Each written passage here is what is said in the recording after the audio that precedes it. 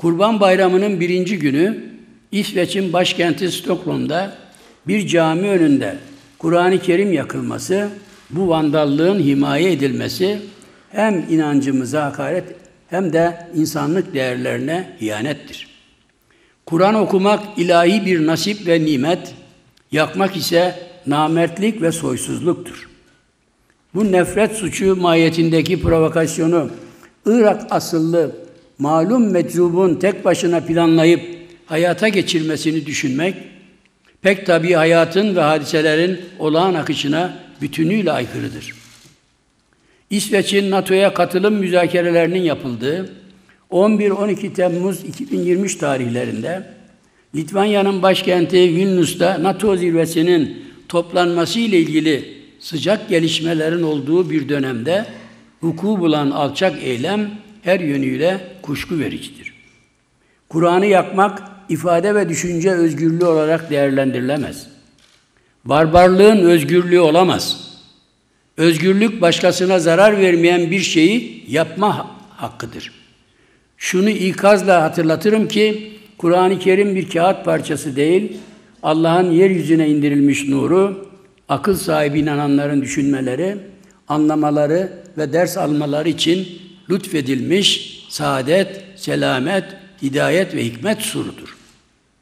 Tüm dünya ateşe verilse bile yüce kitabımızın kelam ve manasıyla tutuşması, ilahi hükümlerinin yanıp kül olması asla ve kat'a mümkün değildir. Kur'an yakan kendini yakmıştır. Kur'an yakan da cehennemin dibini boylamıştır.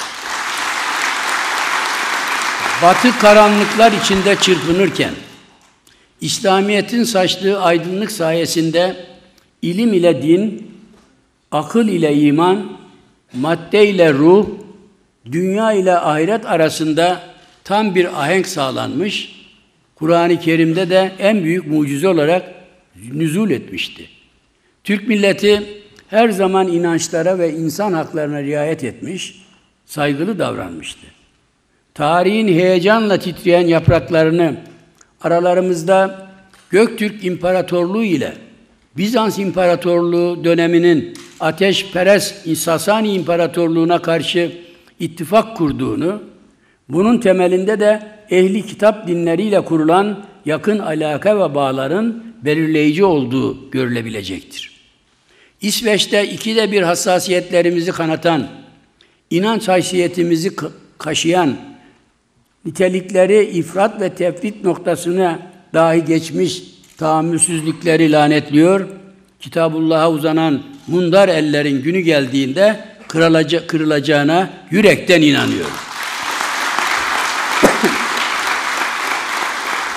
Bu menfur suikaste en tesirli tepkiyi göstermek suretiyle İsveç Büyükelçiliği'nin önüne siyah çelenk koyup Kur'an-ı Kerim tilaveti okuyan ve okutan ülke ocakları Eğitim ve Kültür Vakfımızın yiğit mensuplarını da huzurlarınızda tebrik ediyorum.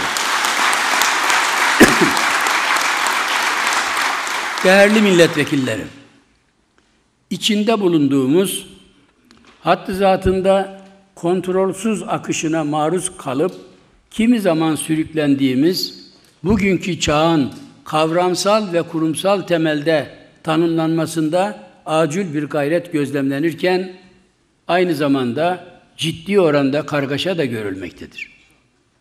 Nevzuhur kural, kurulların içine sıkıştırılmış hayat ve siyaset paradigmasıyla hayatın kaynak yerinde özenle teksif ve temin edilip çıkarılmış kural ve ilkeler parametreleri arasında koyulaşmış bir kutuplaşma devamlı sahne almaktadır. Bundan mülhem sosyal ve siyasi çelişkiler gittikçe derinleşmektedir. Karşımızda yüzü asılmış çarpık ve solmuş çehreli bir resim gibi duran dünya tablosu hiç de iç açıcı değildir.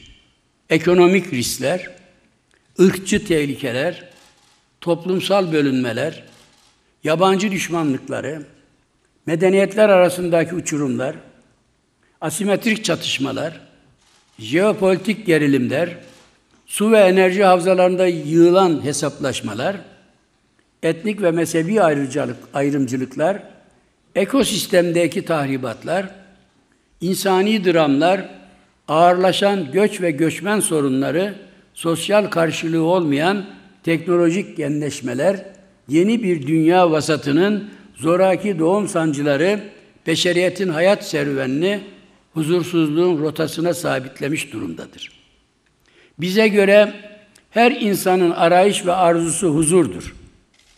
Yine bize göre beşeriyetin biz huzur çağına ihtiyacı vardır. Milliyetçi Hareket Partisi bu inanç ve irade muvaffakatiyle insanlığın huzuru projesini hazırlamış, çağımızın esasen yeni ve bir Türk asrının vizyon çağrısı olarak sadece Türk insanıyla değil, tüm insanlıkla paylaşma duyarlılığı göstermiştir. Huzur, açlık veya toklukla, varlık veya yoklukla, eksik veya fazlalıkla izah edilemeyecek fenomen bir kavram olup, insanın iç alemi ile dış alemi arasındaki kararlı ve tutarlı denge noktasını işaret etmektedir. Huzur, insanın manevi bir bütün halinde kendisi olması, kendi kendisini ve çevresini tanımakla beraber vicdan sesini duymasıdır. Hazreti Mevlana adalete ağaca su vermek, zulmü ise dikeni sulamak kabilinden açıklarken bizim anlayışımıza göre huzur dikeni sularken bile rahmet pınarının akacağını düşünüp her şeyi hayra yormaktır. Bu tefekkür hüneri sorumsuz ve şuursuz bir iyimserlik hali değildir.